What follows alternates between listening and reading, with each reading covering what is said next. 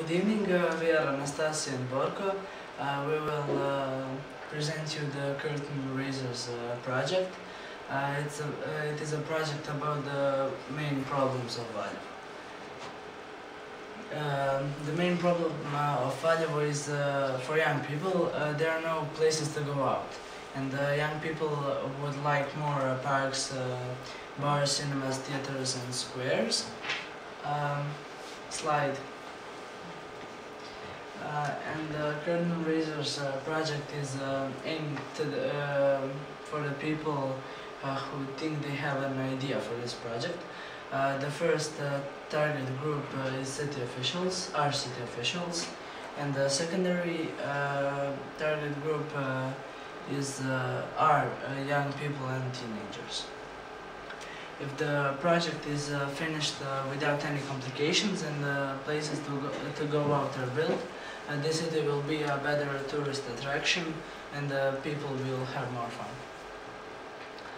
Uh, the first uh, plan we uh, prepared is um, separated promotions of all kinds of music. It will last for three hours and it will happen in cultural center and uh, all we need is stage uh, instruments and promoters. Uh, the outcome uh, is uh, uh, the education about the music and big entertainment for the people. Another plan is exhibition of astrophotography and a lecture for beginners in astronomy.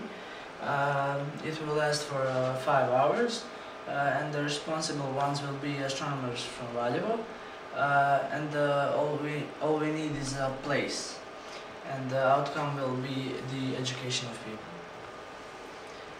Our third uh, plan idea for sports is um, uh, more football competitions like a New Year competition. It will last uh, seven days, and uh, all we need is a sport manager, uh, whole uh, uh, whole center, and uh, city officials.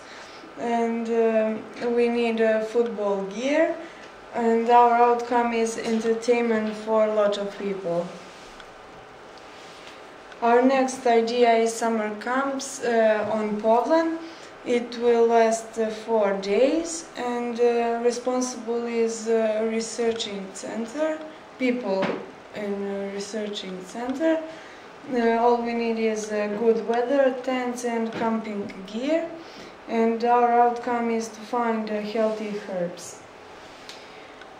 Uh, next plan is to help old people. Uh, you can help uh, every day um, from uh, 9 a.m. to 7 p.m.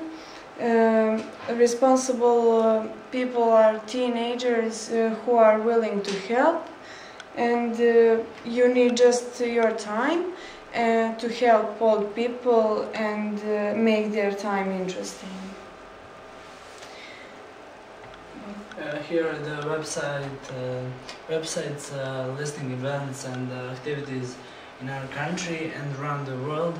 Uh, they uh, they might uh, give you a few ideas. Okay. Um, That's it? Yes? That's it. Uh-huh. Okay, thank you very much.